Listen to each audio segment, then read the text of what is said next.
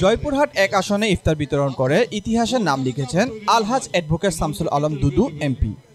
বৃহস্পতিবার জয়পুরহাটের পাঁচবিবি নিউজ ভবনে উনচল্লিশ বছর ধরে প্রতি বছর নেয় রোজার মাসব্যাপী অসহায় পরিবারের মাঝে ইফতার বিতরণ করা হয়। এই ইফতার বিতরণ অনুষ্ঠানে দুদু, এমপি বলেন, আমি উনচল্লিশ বছর ধরে জয়পুরহাট এক আসনে সতেরোটা ইউনিয়ন ও দুটি পৌরসভার প্রতিটি ওয়ার্ডে অসহায় পরিবারের মাঝে ইফতার বিতরণ করে থাকি। আর আমি ইফতার বিতরণ করে অনেক আনন্দ ও শান্তি পাই। আমি যতদিন বেঁচে থাকব, ততদিন এই রোজার মাসে ইফতার বিতরণ করে যাব।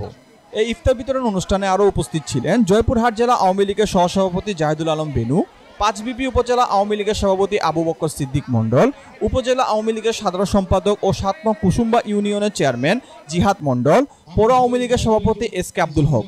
এছাড়াও উপজেলা আওয়ামী লীগের সাবেক সহসভাপতি মহির উদ্দিন মণ্ডল, পাঁচবিবি উপজেলা পরিষদের ভাইস চেয়ারম্যান সোয়াব হোসেন মণ্ডল, ছয় নং ওয়ার্ডের কমিশনার আনিসুর রহমান বাচ্চু, জেলা, উপজেলা ও পৌর আওয়ামী লীগের সকল নেতাকর্মীরা উপস্থিত ছিলেন। Jewel Sheikh, PRB Ekattor TV, Joypurhat.